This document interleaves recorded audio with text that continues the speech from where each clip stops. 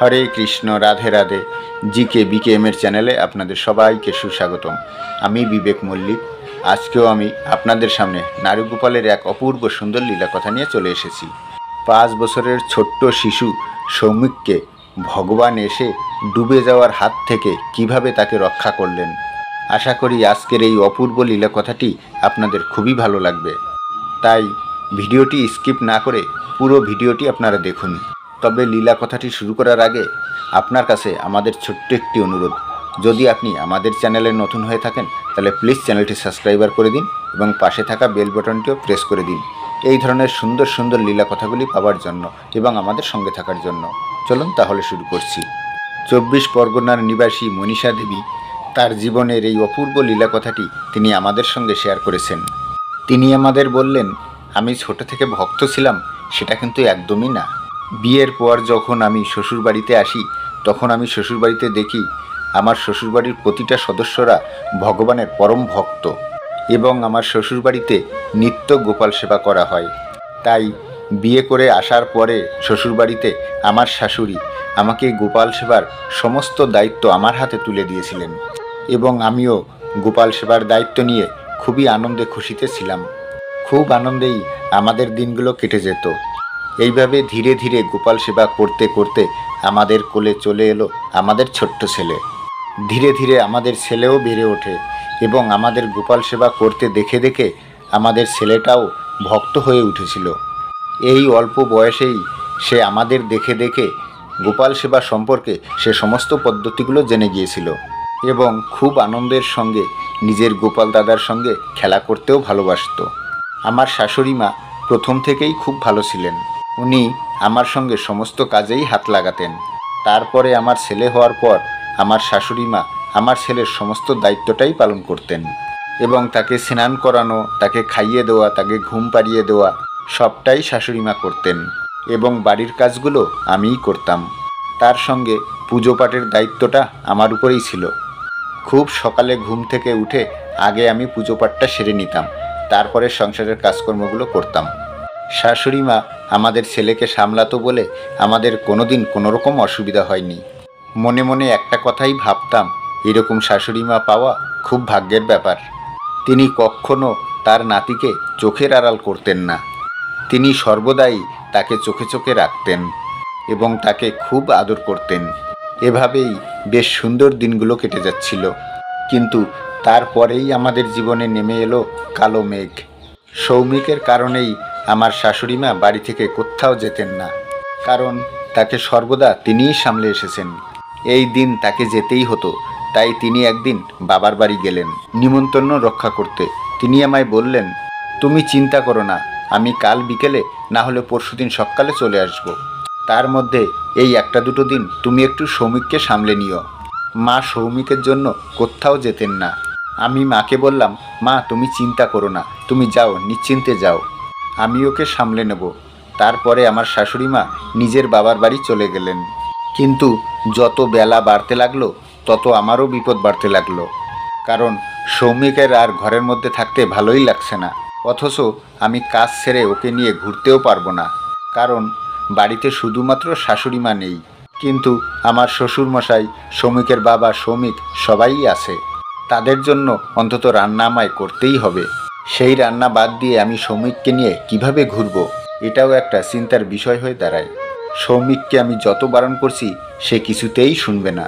বারবার বাইরের দিকে ছুটে ছুটে চলে যাচ্ছে। আমরা যেহেতু গ্রাম অঞ্চলে থাকি, তাই আমাদের বাড়ির আশেপাশে অনেক পুকুর আছে। যার কারণেই আমার শাশুড়ি মা কখনোই সৌমিককে চোখের আড়াল করতেন না।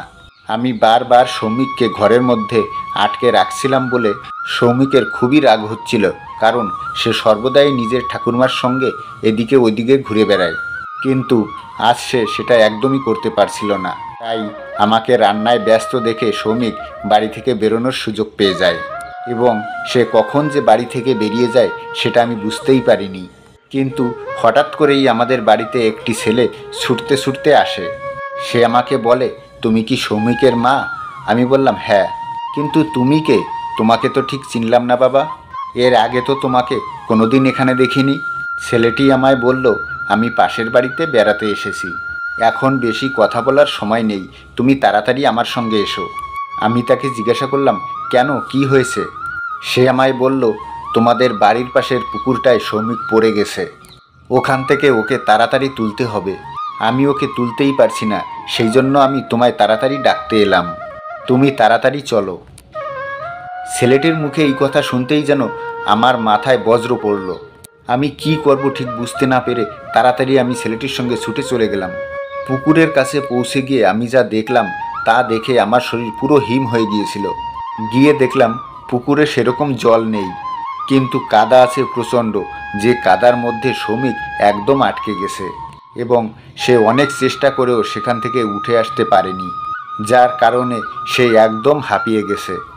আমি আর কোনো দিকে না তাকিয়ে আমি তাড়াতাড়ি সেই কাদার মধ্যে নেমে পড়ি এবং সেখান থেকে শ্রমিককে তুলে নিয়ে আসি। হয়তো আর একটু দেরি হলে শ্রমিক সম্পূর্ণভাবে সেই কাদার মধ্যেই ঢুকে যেত। এই ঘটনা আজও আমায় কাঁপিয়ে তোলে এবং যখনই এই ঘটনা আমার নিজের চোখের সামনে ভেসে আসে, তখনই আমায় নিজেকে বড় অপরাধী মনে হয়। কারণ আমার শাশুড়ি মা আমাকে দুদিনের জন্য মাত্র শ্রমিককে দেখার দায়িত্ব দিয়ে গিয়েছিল। সেই দায়িত্বটাও আমি সঠিকভাবে পালন করতে পারলাম না। শ্রমিককে বাড়িতে নিয়ে আসার পর তার সমস্ত জামাকাপড়গুলো খুলে দিয়ে তার হাতে পায়ের গায়ের সমস্ত কাদাগুলো ধুয়ে দিই এবং তাকে সুস্থ করে তুলি এবং সে প্রচণ্ডভাবে হাঁপিয়ে গিয়েছিল। সে এতটাই ক্লান্ত হয়ে গিয়েছিল যে সে কথাই বলতে পারছিল না। অবশেষে আমি ডাক্তারকেও ডেকে আনি। ডাক্তারবাবু দেখে বলেন, সেরকম কিছু হয়নি। একটু ঘুমিয়ে নিলে বা রেস্ট করলে দেখবেন আস্তে আস্তে ঠিক হয়ে যাবে। ডাক্তারবাবু যখন আমার মুখে সমস্ত কথা শোনেন, তখন তিনি আমায় একটা কথা বলেছিলেন। যে এই ছেলেটি তোমায় ডাকতে এসেছিল, সেই ছেলেটিই আজকে ভগবানের রূপ ধারণ করেছে, জানো? সে যদি না আসতো, তাহলে হয়তো তুমি সৌমিককে আর বাঁচাতেই পারতে না। ডাক্তারবাবুর মুখে এ কথা শুনে আমিও খুব ভাবনায় পড়ে যাই। কারণ, যেই ছেলেটি সৌমিককে ডাকতে এসেছিল সেই ছেলেটিকে আমাদের গ্রামে এর আগে আমি কখনো দেখিনি। তবে ছেলেটি বলেছিল, ও পাশের বাড়িতে কারও বাড়িতে ঘুরতে এসেছিল। তাই আমি পাশের কাকিমাদের বাড়িতেও জিজ্ঞাসা করেছিলাম। কিন্তু তারা প্রত্যেকেই আমায় বলেছিল, তাদের বাড়িতে কেউই ঘুরতে আসেনি। পাড়ার অনেক মানুষজনকেও সেই ছেলেটির কথা জিজ্ঞাসা করেছিলাম। কিন্তু আশ্চর্য ব্যাপার, সেই ছেলেটির খবর কেউই দিতে পারিনি। সেই মুহূর্তেই এই বিষয়টা আমাকে খুব চমকেছিল। আজ আমি সম্পূর্ণভাবে বিশ্বাস করি এবং আমার দৃঢ় বিশ্বাস যে সেটা আমার ঠাকুর নারুগোপালই ছিলেন, যিনি নিজের ভক্তকে বাঁচাতে স্বয়ং নেমে এসেছিলেন। আপনাদের কি মনে হয়, কে ছিল সেই ছেলেটি? আমাদের কমেন্ট বক্সে অবশ্যই বলবেন। এবং আজকের এই অপূর্ব লীলা কথাটি যদি আপনাদের ভালো লেগে থাকে, তাহলে ভিডিওটা একটু বেশি বেশি করে শেয়ার করে দিন। যাতে সকলেই এই অপূর্ব লীলা কথাটি শ্রবণ করতে পারে। এবং আপনার জীবনেও যদি ঘটে থাকে এমন কিছু লীলা যেটা আপনি আমাদেরকে শেয়ার করতে চান, তাহলে আপনাকে যেতে হবে আমাদের চ্যানেলের অ্যাবাউট সেকশানে অথবা ডিসক্রিপশন বক্সে সেখানে দেখবেন আমাদের ইমেল আইডি মেনশন করা আছে। আপনারা অতি সহজে সেখানে লিখে অথবা অডিও রেকর্ডেও পাঠাতে পারেন। তাহলে আমরা এই চ্যানেলের মাধ্যমেই আপনাদের লীলা কথাটি প্রকাশ করব। তাহলে দেখা হচ্ছে আবার একটা নতুন লীলা কথার সঙ্গে। ততক্ষণ আপনারা আপনাদের নারুগোপালের সঙ্গে, আপনার ঈশ্বরের সঙ্গে, আপনাদের পরিবারের সঙ্গে সর্বদা হাসতে থাকুন, খেলতে থাকুন। হরে কৃষ্ণ, রাধে রাধে।